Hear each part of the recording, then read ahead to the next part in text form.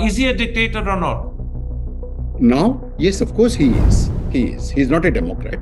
Uh, he, he doesn't bother about the parliament. He doesn't bother about center state relations. He doesn't bother about the office of the uh, president of India. He doesn't bother about uh, in, anybody in the in the in the in the in the government. And you know, he he he can he can he is no more what he used to be in 2014 a team india which is prime minister and the chief ministers it so your answer to my question is narendra modi a dictator? Was of course he's a dictator. Yes. He has set india back in terms of economy at least 20 years to 25 years in terms of polity, at least he has taken us back to pre-independence days.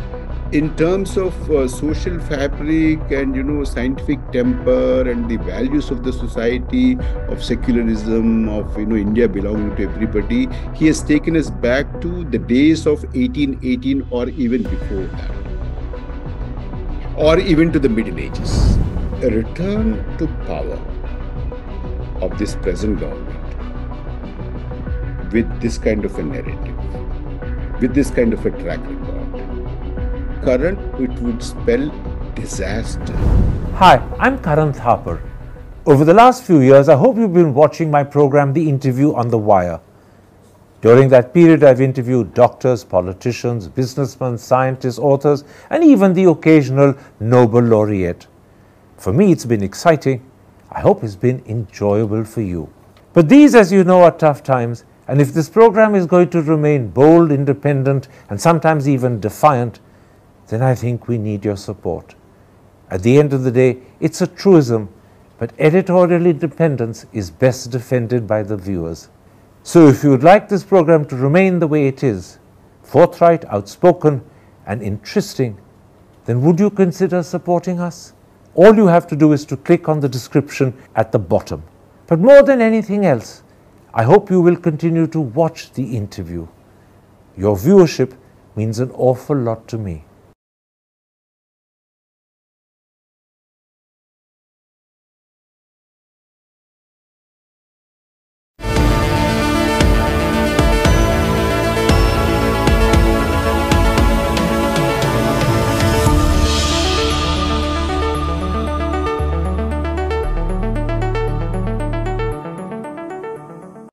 Hello and welcome to a special interview for The Wire. Could Narendra Modi end up losing the forthcoming elections? And if the answer is yes, what is the explanation? On the other hand, could Narendra Modi also end up with a sweeping majority? If the answer is yes, what will be the likely impact on India's politics as well as its democracy? Those are the key issues I shall explore today with the well known author, economist, and commentator, Parakala Prabhakar. Dr. Parakala is also the husband of Finance Minister Nirmala Sitharaman. Dr. Parakala, whilst Narendra Modi boasts that the BJP will get 370 seats and the NDA will cross 400, in interviews that you've recently done with Deepak Sharma and Neelu Vyas, you said that Narendra Modi and the BJP will struggle to get to 220 to 30 seats. Can you start by explaining what brings you to this conclusion? Karan, thank you very much for having me. It's always a pleasure speaking to you. Um, you know, um, let, let me break it down into two parts. The first part is that I think uh, 370 and 400 par is just a very, very intelligent trick played by the ruling party and the prime minister. I'll tell you why. One, if they have not said that, the debate in the country would have been whether they're going to return to power or not, whether they're going to win this election or not. Now the debate, because they have said that, the debate now is whether they'll be, it is possible for them to win 370 or is it possible for the NDA to cross 400. So it is it is shifting of the terms of debate that they've achieved by boasting that they would cross 370 or they, they will win 370 and they will cross uh, 400. Now, my uh, uh, estimate why the BJP, the ruling party under Mr. Narendra Modi, will struggle to get 220, 230 is as follows. um, you know, in still about 204, uh, 2014, the BJP at its peak was able to get hold of about 20, 22% and not more than that. I'm not talking about the allies and you know NDA and, and all that. And in 2014, they rode a very popular wave, which was launched by the India Against Corruption. And because of that, a lot of middle class, urban professionals, they were disgusted with the corruption that was going on, or what perceived corruption that was going on. And then you know, the strong marketing of Gujarat model, strong leader, decisive, no policy paralysis kind of a narrative also fetched them the additional thing, and that has taken them to about 27% or so. And I'm not talking about, you have to um, see that, you know, the allies votes are not counted here, but just the Bharatiya Janata Party. Now, in 2019, Balakot and you know other uh, things, uh, Pulwama, they have added a bit more. But now I have come to this uh, estimate, especially after what what what is called the Modi Gate, the the the electoral bond uh, scheme, the kind of scandal that is now you know. current it's very difficult for many people to really you know, get an estimate, get an understanding of how fast it is penetrating into the common people. People are talking. They may not know the nuances of electoral bond, but something has happened. You know, a lot of money has changed hands. This narrative has gone very deep into the people. And the most important point here is that the moral high ground on which the Bharatiya Janata Party and Narendra Modi government has been standing all this while has collapsed now. Now, when, when this recedes, the 2001, uh, 2014, the accrual that uh, the, the BJP got, if that recedes, then they will back again, be back again to to the 20%, 22%, 23%. So this is one. The, the second thing, if, if you look at the states, of course, we will discuss those uh, states also, but this is the overall logic, the overall framework within which I place my argument. Now, Narendra Modi, as you know, has boasted that the BJP alone will win 370 seats. Yesterday, we checked with the BJP press office and they said we should estimate that they will contest something like 450 seats. If that is what they actually contest, then the aim to win 370 means they're winning 82% of the seats they contest. That is a fantastic strike rate. Would you say that is impossible to achieve? It is impossible. That's what I have been arguing. How many seats do they have to contest? You know, not just the nominal contest, but serious contest. That in order for that, for them to win 370, this if the if the strike rate they're expecting more than 60 or 62 percent of strike rate. Even that is on the higher side. I think they are living in modi's paradise. In other words an 82 percent strike rate is ruled out by you. Possible current impossible. It's just not possible. Especially you know uh, if you if you if you look at seriously what is happening in the country we will we'll come to that you know we, we, we will see what exactly is the, the situation in the country Dr. Parakala, if Modi is unlikely to cross 220, 230 seats compared to 303 in 2019, he's presumably going to lose a lot of seats in northern India. Where precisely in northern India do you see the losses taking place? Um, Karan, um, let us see now, first of all, which are the states which have given them a huge support in 14 and 19 too. Uttar Pradesh, Bihar, Rajasthan, Madhya Pradesh, and of course their home turf, that is Gujarat. The, this is the core area. And this area has reached saturation.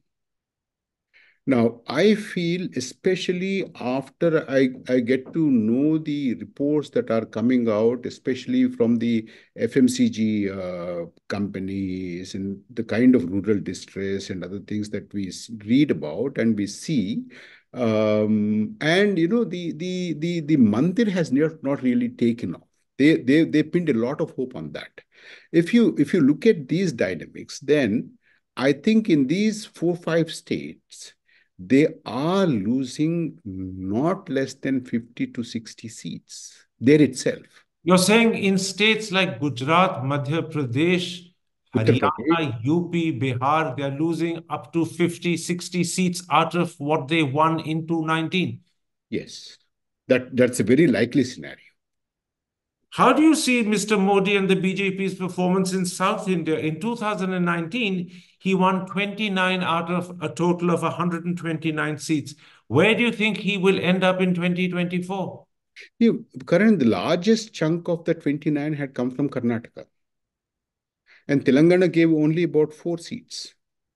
Now in Telangana, they they will be they will be much down. They will be down probably uh, to about two but you see, they will compensate those two in Andhra Pradesh because now they are uh, teamed up with the uh, Telugu Desam party. Otherwise, they, would have drawn a blank in, Andhra Pradesh. They, they probably would win about two or three from Andhra Pradesh. But Karnataka, they are going to suffer a huge setback because you see in, in karnataka their entire strength even even even as evidenced by the the, the recently concluded last year's uh, assembly elections also their strength mainly came from the coastal karnataka and bangalore and the surrounding areas.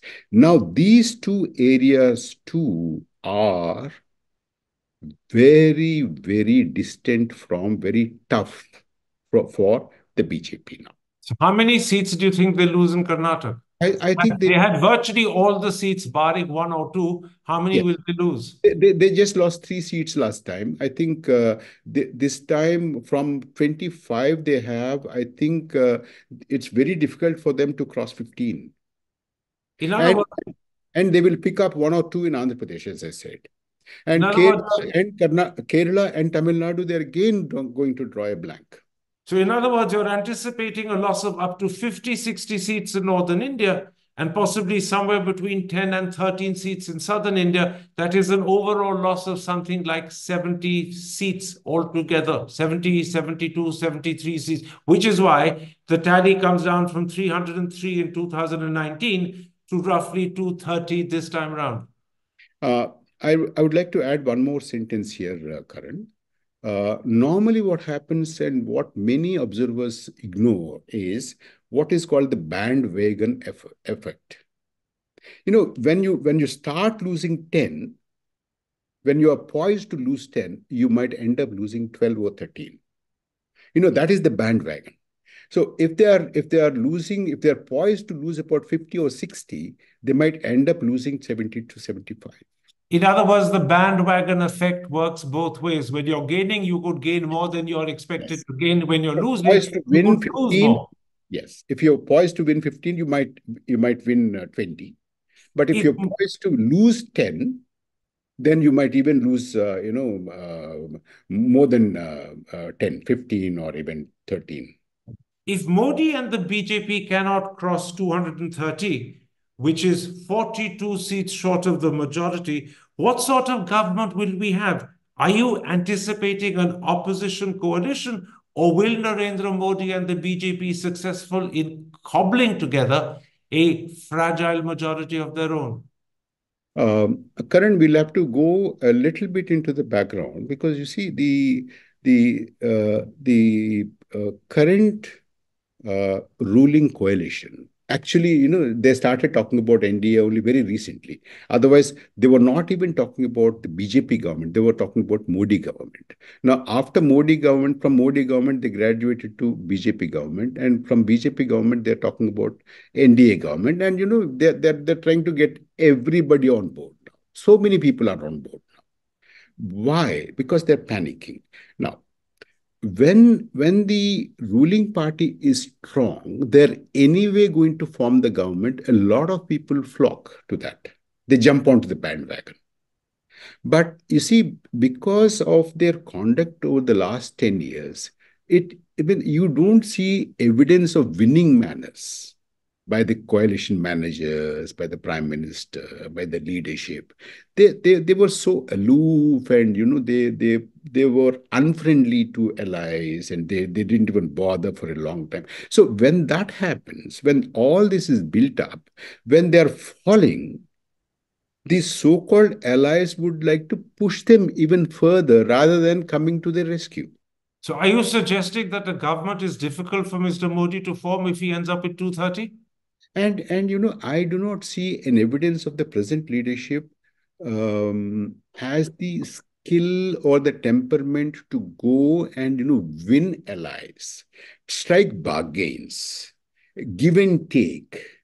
That I do not see any evidence. So I yes. think it's very difficult for them to you know stitch together compromises and uh, alliances. So you're saying if Mr. Modi ends up with just 230 seats, he may be the single largest party in the Lok Sabha, but he will be forced to sit in the opposition because he doesn't have the temperament, he doesn't have the skills, he's not behaving in a way that he can stitch together the allies needed to form even a fragile coalition government. Therefore, mm. opposition is where he's headed for. Yeah, nor does his uh, even his team. The team also doesn't have the kind of skills and the kind of uh, you know, uh, wherewithal to stitch an alliance and, and strike bargains and compromises. So, according to your analysis, Dr. Parakala, Modi is heading for opposition. Uh, that is the most likely scenario that I see, Karan. Yes. Okay. Against that background, let's at this point ask you how you view the Narendra Modi government that's ruled the country for the last 10 years. In your book, The Crooked Timber of New India, you say, and I'm quoting, our democracy is in crisis, our social fabric is torn, our economy is in peril, and we are being dragged back to the dark ages. What is the impact of 10 years of Narendra Modi's rule on India? I stand by every word that I wrote then in my book. And I would like to add one more thing to this is that, you know, um, India also had seen, especially after you had uh, the revelations about the electoral bond, I think this is the most corrupt government also in, in, in the history of India. Having said that, let me uh, let me see, uh, let me tell you what I feel. You know, this this government, what it did overall, especially to the economy, is from being a fragile five they have taken us to a country where there are fragile 82 crore people. From fragile 5, we have become fragile 82 crore people. This is one. The second thing is that inequality is so high now that 1%, this is, this is the World Inequality Report, uh, lab report, uh, uh, 1% of the population has about 22% of its income, and 1% of the population has about 40% of its assets. Now, the philosophy of this government seems to be, you know, give five kilos of uh, food grains to poor people and five airports to my friend. That seems to be the that that seems to be the the philosophy. And, you know, I was shocked, uh, Karan. Recently, Professor Panagariya, who is one of the important uh, uh, persons in their, in their economic uh, team, um, said, don't lose sleep over inequality. You know, it reminded me of, uh, you know, Gordon Gekko, greed is good, inequality is good. And the chief economic advisor, said somewhere that solving unemployment problem is not the remit of the government. And another economic apparatchik of the regime said there is, there is poverty of ambition among our young people. You know, when, when the youth unemployment rate in this country is 24% and the unemployment rate among uh, young people aged between 20 and 25 is 40%, now we have uh, the mandarins of the regime talking about inequality is good, um, you know, uh, unemployment is not our remit, and you know, it's there's a poverty of uh, of uh, you know ambition, and you know, the look at the look at the hundreds and thousands of people who are queuing up to get uh, recruited by Israeli government to go to Gaza, knowing very well it is a risk to their life. Sure. It is the kind of uh, that is the kind of uh, you know distress that people are in. Now, this in addition to this, you have you know uh, states being squeezed of their legitimate financial uh, um, transfers. And then minorities are under threat. Our democracy is now has become a mockery because you know you you are running the Lok Sabha without 140 more than 140 opposition MPs. You suspend them and pass bills. You know, in terms of handling the economy, to come to that specifically, in your book, you talk of what you call Narendra Modi's staggering incompetence. Why do you say that when this year we could be growing at a rate that is just under 8%, and when Mr. Modi claims that he's lifted 250 million people out of poverty, why do you call that staggering incompetence? Oh, there are there are several difficulties and several problems with this, this kind of a methodology. That is one. The second thing, of course, the, the most important uh, uh, uh, problem that I must point out very, very, very uh, briefly is that when they say that they they were growing at eight percent, why is this that consumption is only growing at three to three point five percent? So you don't believe that 8% figure? No, not at all. Not at all. There, there is a huge problem in this. Now, you see, uh, internationally, it is acceptable to have a have a, a, a, a variation of about 0.5% to 1% between the national income accounts and the national consumption accounts. But here it is about 4%. So, which means I think this figure is so much inflated, so much exaggerated that they're, they're trying to make it into a, a, a huge, uh, you know, uh, uh, propaganda stuff. What about the claim of lifting 250 million people out of poverty? I'll come to that, Karan. The, the point is this. The point is that when they say that they were growing at such a high rate of growth, 8%, why is it that the household savings is at the lowest historical low of 5%? Why is it that the household debt is at a historic high of 40%? Not only that, even the national debt has grown over the last 10 years by more than 120 lakh crore. Who is accounting for that? Well, Now, look at this. This this is the the there is there is very interesting uh, um, you know massaging of figures here when you talk about you know so many millions of people were lifted out of poverty. Now you see uh, when people talked about per capita income then they said, look, per capita income probably is, is, somewhere it is high, but if you don't have access to schooling, healthcare, roads, infrastructure, information, all this, what is the point? So you need to bring in these elements also. So therefore, this concept of multidimensional poverty was brought in. Now, here, the government of India is playing a trick of, you know, they are not talking about the income part of it. They were talking about, you know, what is the infrastructure that was created. Therefore, they are saying that, you know, multidimensional poverty has come down. But then the, the, the computing of even these things are having a problem because, you know, earlier... Can I, can I interrupt? Just one, one, one sentence, Karan. Earlier, one kilometer of a four lane road used to be one kilometer of a four lane road. Now, one kilometer of a four lane road today is four kilometers. So, therefore, when you boost up everything by a factor of about four, and then you see we have brought down the multidimensional poverty. Now, it, it is it's it's a laughable proposition. So you're saying to me that this claim that we have lifted 250 million people out of poverty hinges around this concept of multidimensional poverty. And you're saying the problem with multidimensional poverty is it pays more attention not to income levels which are not growing, but to other things like health, education, etc., which are misleading at best.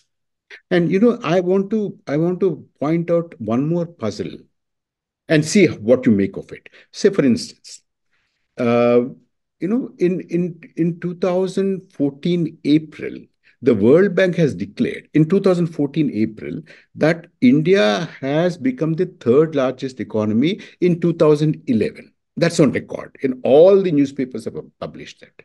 Now, how many times does our government want us to become third largest economy? One. The second thing is now we claim that we are now the fifth largest. Hold on a second. When we be, when you claim that the World Bank says we became the third largest economy in 2011, is that in purchasing parity terms? Yes, that, that, that that's what the World Bank had said very clearly. And we don't talk about that at all now. Why? So you're saying that the achievement of becoming the fifth largest economy last year is in fact misleading because we were already the third largest. I mean, we're getting confused over here, so I'm asking you for a bit of clarity, but briefly, because this point will now begin to confuse the audience horribly. No, it's, it's, I think it's the government which is confusing, or the government which is confused. Mm-hmm. It, the data does not confuse you. One, one more point. Let's let, let, let, let's let's extricate ourselves from this because I don't want the audience to get confused and lose track on this point. This is simply to do with definitions about what is the largest, what is the second largest, and how it's measured. Let's get out of that. Let's focus instead, while we talk about the last 10 years of Narendra Modi's rule, on Narendra Modi himself. Do you believe over the last 10 years he's shown that he's a dictator, or is that an exaggeration? No, I'll come to that. Just allow me one sentence. Um, briefly. You know, when, when, yeah, very briefly. When you say that we have overtaken the United Kingdom and become the fifth largest economy, United Kingdom is a, is a developed country. If you have overtaken a developed country, you would have become a developed country. Are you a developed country? But again, at the same time, the oh, forgive me, sir. We need to be clear over here because we'll end up horribly confusing the audience. We've overtaken the United Kingdom in terms of the absolute size of the economy. But if we're talking about income per person per capita per head, we are, are behind them. We are 21, 22 times behind them. They are at 42, $43,000 per person. We're roughly at 2,800. So we're around 20 times behind them. That is exactly what I'm trying to say. Absolutely. But let's extricate ourselves from that because I don't want the audience to get confused and sidetracked. Let's focus on the 10 years of the Modi government by asking the question Has he behaved like a dictator? In your eyes, is Narendra Modi a dictator, as many people say? I, I feel that he's definitely not a Democrat. And I think he is on the way to become, and he would like to become a dictator. Because you see, the, the, I think there is this. Uh, forgive me. What do you mean he'd like to become? Is he a dictator or not? Now, yes, of course he is. He is. He's not a Democrat. Uh, he, he doesn't bother about the parliament. He doesn't bother about center state relations. He doesn't bother about the office of the uh, president of India. He doesn't bother about uh, in anybody in the in the in the in the, in the government. And you know he he he can he can he is no more what he used to be in 2014 a team india which is prime minister and the chief ministers. So your answer to my question is narendra modi a dictator? Was of course he's a dictator. Yes. In your opinion what will be history's verdict on the 10 years of narendra modi's prime minister I think uh, the verdict would be that he has set India back in terms of economy at least 20 years to 25 years. In terms of polity, at least he has taken us back to pre-independence days in terms of uh, social fabric and you know scientific temper and the values of the society of secularism of you know india belonging to everybody he has taken us back to the days of 1818 or even before that. Or even to the middle ages. I'm going to repeat what you said because i think it's so critical and important. You said he has set india back in terms of the economy by 20 25 years in terms of polity to pre-independence days, in terms of the social fabric, he's taken us back to at least 1818. That is two centuries and more. Yeah, even Middle Ages. You know, the entire narrative of past worshipping. This has become a, the official credo of India under Sri Narendra Modi. Let's at this point, Dr. Parakala, flip our discussion. So far, we've talked about how he's likely to do in the elections, and secondly, about an assessment of the way his rule has impacted India over the last 10 years. Now I want to raise a third issue with you. Let's assume that Narendra Modi gets a majority and forms a third government when the elections are held starting in a week's time.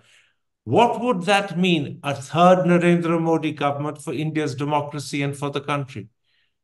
You know, uh, a return to power of this present government with this kind of a narrative, with this kind of a track record, current, it would spell disaster for India. I think you can forget about the kind of uh, diverse, liberal, secular India we've been talking about, we have, we have lived through. I, I think the the narrative is going to be, you know, uh, this constitution did not serve us well.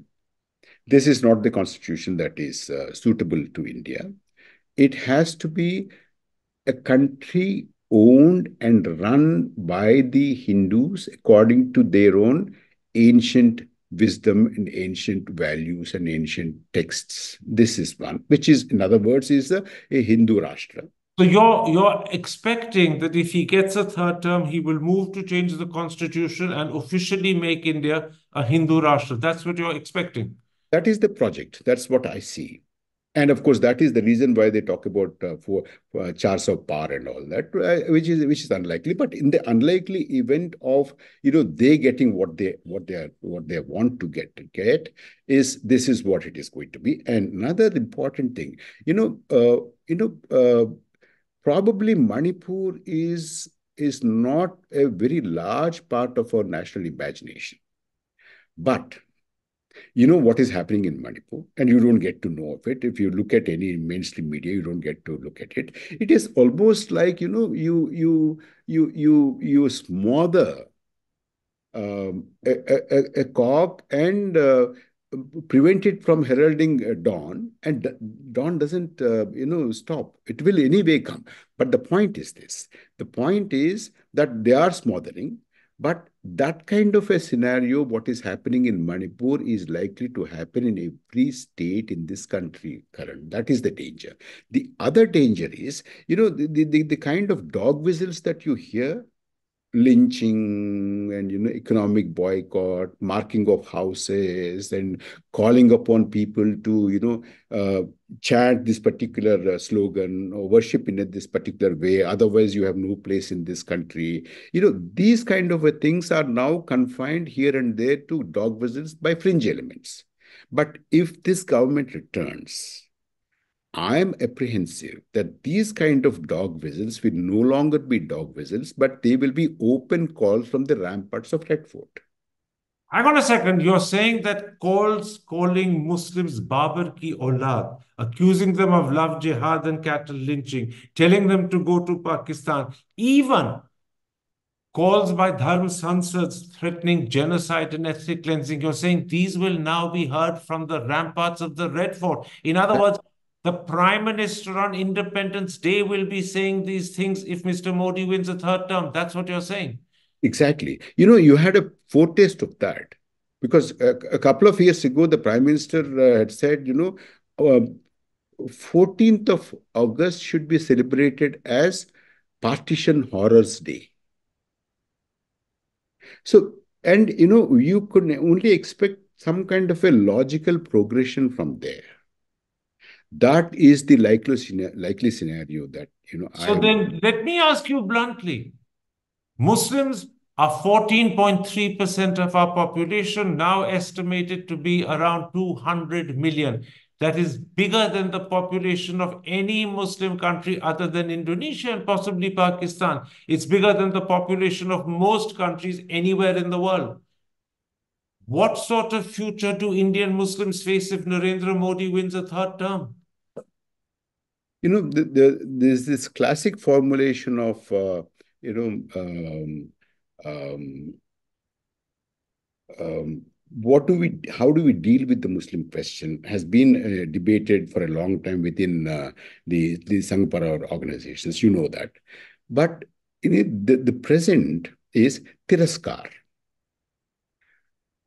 Parishkar tiraskar uh, uh, you know you you you you give them a, a lot of uh, uh saman so leaving all those now we have come to a tiraskar issue what does tiraskar mean? Tiraskar means rejection. Now you see, you see what is happening now. So you're saying we will be rejecting Muslims? See, it's already there. I, I just want to point out two or three signals, uh, current to you. This is the first ever time the largest minority of this country has no place in the Union Cabinet and Union Council of Ministers. This is the first ever time that the largest minority of this country does not form it does not does not have a place in the ruling parties uh, legislature parties in many states as well as the central legislature party. Both in fact, in the BJP doesn't have a single Muslim MP in either House of Parliament. Yes. And in many states where they rule, like for instance, Uttar Pradesh and Gujarat for a long time, even even in in in in, in a place like Karnataka, not only they, they don't have uh, a member in their legislature party, but they have not even been given a ticket. So this is Tiraskar. Puraskar, no Puraskar. You know, uh, Parishkar, we have to. The Parishkar is by Tiraskar. That is what they are doing it. One. Another I'm just clarifying for the audience. You can carry on after I've interrupted you. You're saying that the situation facing Muslims is what you call tiraskar, i.e. rejection. They will be rejected by the government. Yes, it's, it's already started. I mean, the, the, the signs are very clear, as I pointed out. One. The second thing, uh, what I'm afraid of, uh, Karan, is this, that if you want to live here, you can very well live, but do accept the superiority of the Hindus. It is, after all, the Hindu land. You, you're welcome to live as long as you accept that you are a subordinate person. You're a subordinate people. This is, this is the first stage. But after, if it continues, after that, even that living in subordination also will not be feasible anymore after some time that you know if you have to uh, you, there is no place for you here you you can go to and caa is a, say, are you suggesting that after subordinating muslims and making them second class citizens the second stage after that will be to tell them to leave the country. Is that what you're suggesting? Don't you see that kind of a sign in in caa you know, we are now, you know, slowly the the, the first, you know, the, the, the first paw, the so, so to say, is that, you know, you are slowly trying to link citizenship and religion, which was not the case earlier. And you know, let so, so uh, forgive me, I'm interrupting you, but I'm asked, doing it because I think this is so important. We need clarity. You're saying the first stage after Modi, or if Modi wins a third term, will be subordinating Muslims and making them second-class citizens, and the second stage will be throwing them out of the country by one method or another. We will throw them out of the country. This will be the completion of tiraskar, or what you call rejection. Yes, not only to Muslims I think every other minority in the country will have to live with uh, uh, a situation where they, they have to reconcile to being a subordinate status. I mean, Christians as well and Buddhists too, Sikhs too? Why not? Why not? Because you see, uh, you know, now today you try to co-opt everybody, but that's not the creed. That is not the essential creed. That, that, that has never been the creed.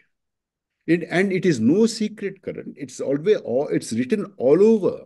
Let me let me sum up what you said because it's a very deeply, distressingly, disturbingly horrible picture that you're painting. You're saying, first of all, India will become a Hindu Rashtra if Modi wins a third term. Muslims will be, as you said, rejected or pushed into Tiraskar. At the first stage, they will be made subordinate people. Then they will be actually forced to leave the country, if not thrown out of the country. You're saying this could happen to all minorities, Christians, Sikhs, Buddhists, Jains. Yes, one after the You're saying what is happening in Manipur is likely to happen in every state of the country. This is why you believe, and I'm quoting you, a third term for Modi is, you said, a disaster for India. This is what you mean by disaster for India. Exactly correct. Exactly. Yes. You really mean this. It's a terrible, horrible picture that you've painted. It's worse than hell. But you really mean this. You're not exaggerating, you're not being polemical. You know, you know, I, I don't need to exaggerate. I have no access to grind. I do not have to go after anybody. I do not have to, you know, make a mission of uh, my life to to to to criticize somebody or to uh, paint a, a bleak picture. It's not. These are the signs that I see. But if somebody wants to tell me that this is not the case, ask them to show me uh, uh, green shoots in the economy. Ask them to, you know, tell me what is what is the employment scenario. Ask them to tell me, no, you are you are wrong. We have a we have a, very very respectable uh, Muslim members in the cabinet in the uh, Okay. parties. Ask them to tell me. Then tell me, if this is the picture that you see, if Modi win- wins a third term, what will be his treatment of major regional leaders and chief ministers? What would be the situation facing people like Mamta Banerjee, M.K. Stalin, Arvind Kejriwal, Pinarayi Vijayan, Akhilesh Yadav? What does the future hold for them? Um, well, you know, uh, today you, you've already had a foretaste of that in in uh, in the case of uh, Mr. Arvind Kejriwal. Whoever differs, whoever doesn't fall in line, or whichever media house is critical or try to question, you know, you know, you know what is happening in the in the in the media. Uh, hang on a second. Are you saying, Dr. Parakala, that Justice Arvind Kejriwal and Hemant Soren have been arrested, you're saying the same prospect, the same future looms ahead for Mamta Banerjee, M.K. Stalin, Pinarayi Vijayan, possibly Akhilesh Yadav? Are you saying jail is the future they face? if they don't fall in line, it's like this. You know, you you you're you're painted as corrupt, but once you join them, you're not corrupt at all. But if they don't fall in line, jail is the alternative? Yes, that that, that that's what I foresee. Yes. You And- foresee the entire opposition leadership being sent to jail if they don't fall in line. It's already started. One, two chief ministers are already in jail, and uh, one of the major political parties' uh, um, uh, bank accounts are frozen. So they they they are are in such a panic uh, uh, mode that they do not want this election to be a free and fair election. I What mean, if they're about so, if they're so confident, Karan, why will they do all this? What about Congress and in particular the Gandhi family? What is the future that stares Rahul Gandhi in the face if Modi wins a third term? Exactly the same. Exactly the same. Jail. Yes, of course. The, the, the, the, the, the present dispensation doesn't want anybody who would question, who, who would be away from them, or who would challenge them, who would criticize them, to be up and about and to be free. Do you believe that Modi will be particularly vengeful to the Gandhi family and perhaps to Rahul Gandhi in particular? Because clearly he doesn't like that family and he particularly detests Jawaharlal Nehru. So will they be specifically targeted in a way that is, say, worse to the targeting and treatment of people like Mamta Banerjee, M.K. Stalin, Pinarayi Vijayan? Will their treatment be worse? You know, um, didn't we get a foretaste of that? Um, Rahul Gandhi, especially, was uh, uh, thrown out of the uh, Lo uh, Lok Sabha, thrown out of his house. And then the, um, he, he came back after the court intervention. So that is the foretaste. Tell me something. Is this simply the doing of Narendra Modi and possibly Amit Shah, who he's very close to? Or do you think the government as a whole supports this, endorses it, and stands by him? Or are they just silent because they're scared to speak out? Which of the two? You know, uh, the thing is this it's very difficult to you know uh, get into you know uh, personalities and i'm not asking you to get into personalities. I'm deliberately avoiding naming your wife. I'm simply saying do you think the government as a whole stands by modi or is modi doing something that he wants to do without caring about what his government and his party thinks? I think it is the it is the project of the present dispensation. It is the project. It is the larger project of making in or remaking India in the image of what has been what has been said since the 1920s and 1930s. In other words, the entire government is behind this. Now it is. And the party too. And the party too. Yes. Now, now what, what, what is BJP now? In other words, there are no strong dissenting, differing voices that matter. I, I, do, not, I do not know, Karan. I am not privy to any information of that kind. In your interview, in your interviews with Deepak Sharma and Neelu Vyas, you also said that if Modi wins in 2024, it's likely to be the last election held in India. Do you really mean that the one election that starts in a week from today could end up being the last election if Modi wins? You know, um, you might have elections like we have elections. You, they have elections in uh, Russia under Putin. Farcical ones. Yeah, farcical ones. 95, 98% people endorsing, you know, uh, just about to. And in China, you have elections. You know, I, I, I met a Chinese delegation when I was the part of uh, AP government the, the Chinese delegation came and their presentation, the first sentence that they spoke, the leader of the delegation said, China is a multi-party democracy. That's what you're saying to me that if Modi wins in 2024, that election will be the last credible election. We may have elections thereafter, like Putin has in Russia, where he awards himself a majority of 90, 95, 96, 97%. But the last credible, free, democratic election, if Modi wins, will have been 2024. That's right. That's what I mean. Yes. How long will this horrible picture that you painted last? Is it reversible? And I'll tell you why I ask. We went through an equally gloomy black patch for roughly 21 months during the emergency that lasted from 75 till early 77. But we recovered, we survived, and we won back our democracy. Is the picture that you're painting that will emerge if Modi wins a third term irreversible? Or can it be reversed and can we emerge back into the sunlight? Um, Karan, I am not somebody who believes in inevitabilism. I believe in human agency.